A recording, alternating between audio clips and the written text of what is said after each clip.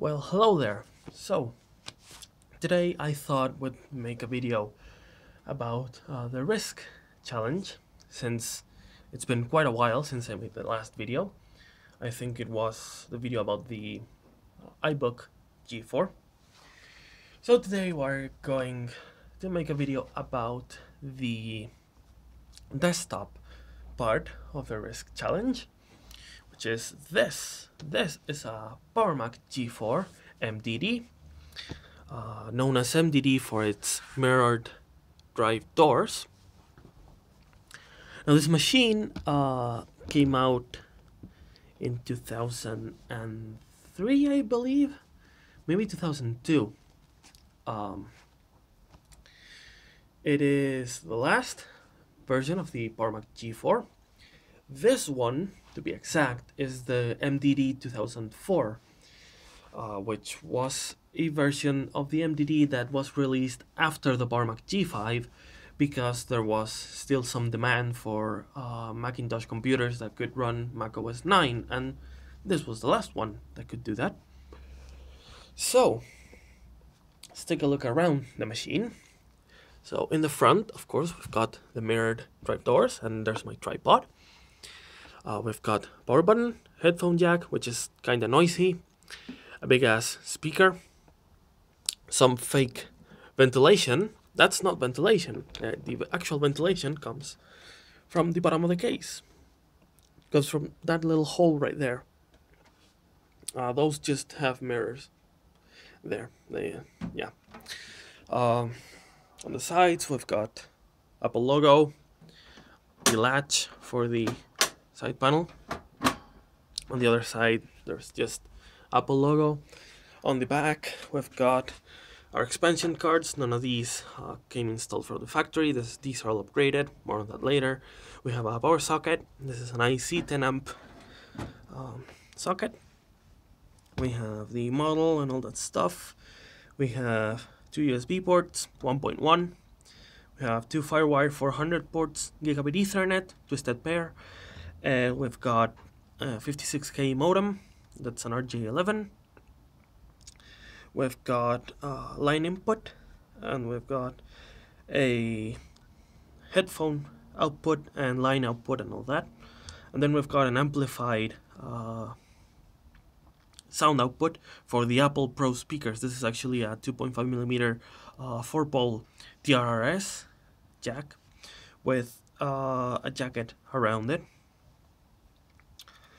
Uh, this one, this output actually uses a Class D amplifier, which was introduced in the digital audio uh, PowerMac G4, and it's actually the same uh, Class D amplifier that's used for the front speaker, which actually becomes a subwoofer when you plug in the Apple Pro speakers into the machine, which is very nice.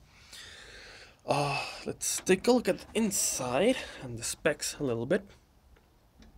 So PowerMac G4 is pretty much the best computer to service ever or upgrade or anything. Just pull on the latch, it opens up. Now the latch system has been upgraded from the older PowerMac G4s.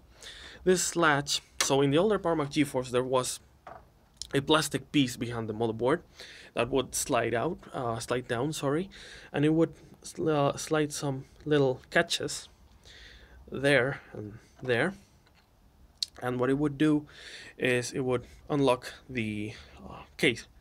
Those latches were made out of plastic too so they'd break. They, they all break eventually. So what they did on this one is they actually just put some little pegs right there that go down. And they push on this and that actually releases some metal latches which latch onto these uh, really, really good metal thingies. And yeah, problem solved. So let's look at the insides of the machine. Uh, as you will notice, it is very clean and very aesthetically pleasing. Uh, more so than the trash can uh, Mac Pro, which, yeah, was a complete downgrade.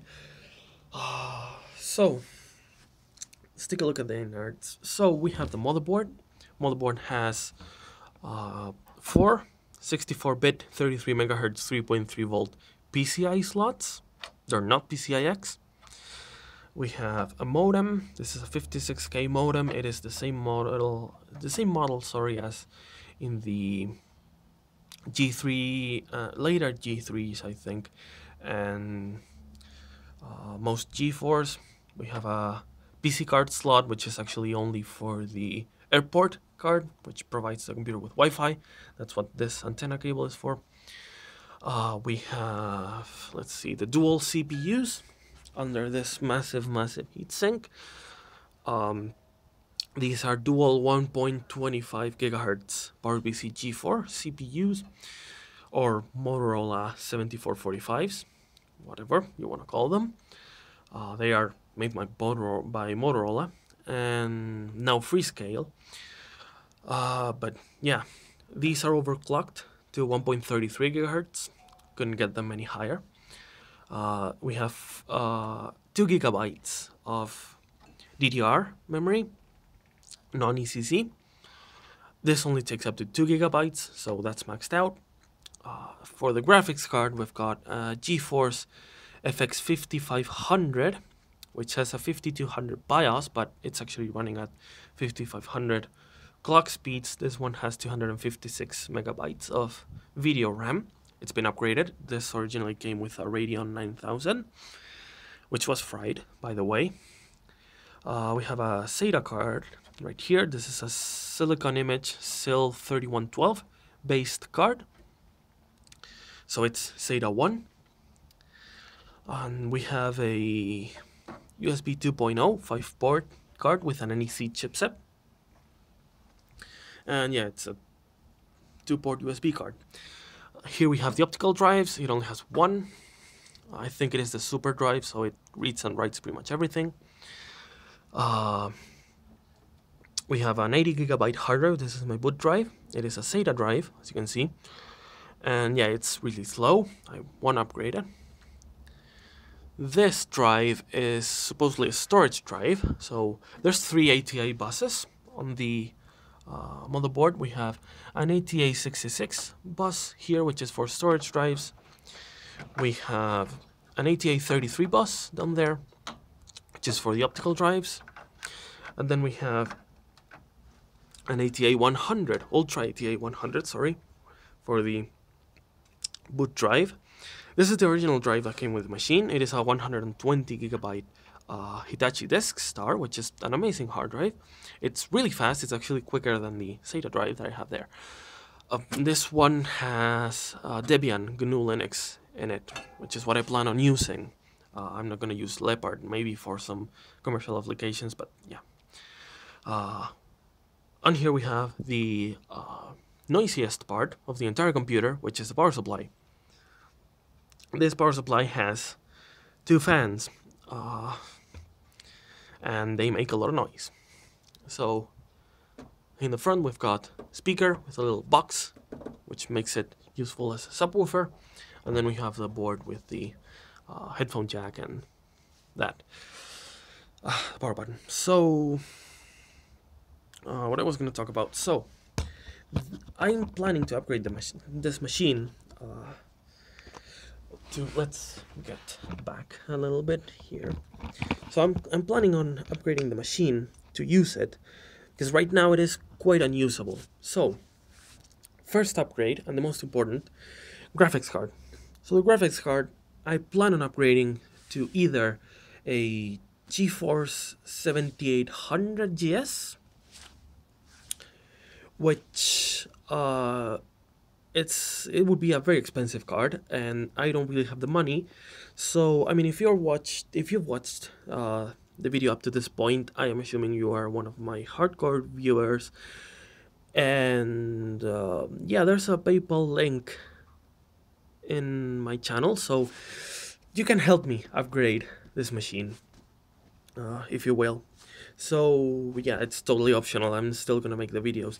So uh, I can either get that uh, the GeForce 7800 GS, which is going to be near impossible, or I can get a, an ATI FireGL X3, which is not as powerful, but I mean, it's what I can do with my money. So yeah, that's first upgrade. Second upgrade, the hard drive, right there. Spinning Rust on a desktop computer uh, or, or a laptop in 2017, almost 2018. Yeah, no. So that's getting an SSD in there. And before you all like get angry and like start, wow, start shouting at uh, your screens. Uh, yeah, it is. No, it, it is a SATA 1.5 gigabit per second bus, and uh, it's outdated and all that. Uh, let me tell you this: I put an M.2 SSD in my iBook. My iBook, uh, like that thing is running uh, thanks to two adapters. So it's running from an, an adapter from M.2 to mSATA and then mSATA to IDE and it's an IDE, uh, an ATA 100 bus. I noticed the difference a lot in that upgrade. And yes, I do actually use the iBook, uh, so I'm, I'm getting used to it. So, yeah. Uh, yeah, that's the hard drive. And then, if I have, if somehow I uh, get enough money to wipe to wipe my ass with, uh, I'm going to change the fans on the power supply for some Noctuas, since you know Noctuas are sleeve bearing fans and those are running vertical. So yeah. And as in the way of upgrades, I don't think I'm getting anything else. The fan, the main fan, is also uh, I have changed it. It is a three-bladed fan now, which is pretty much the same model as used in the um, in the Mac Pro. So yeah, I think that's it for the video. I'm looking forward to do the RISC challenge. Uh, if as soon as I get that graphics card, I'm gonna need it. I'm gonna need it because this system needs the graphics card. So yeah, if you have a 7800 GS or a FireGL uh, X3, send it my way. Um, begging a little bit there. So, yeah, that's it. Thanks for watching.